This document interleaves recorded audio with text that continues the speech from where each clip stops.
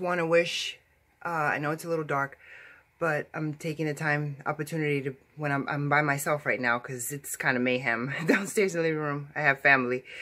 I just want to wish all of my subscribers a very Merry Christmas.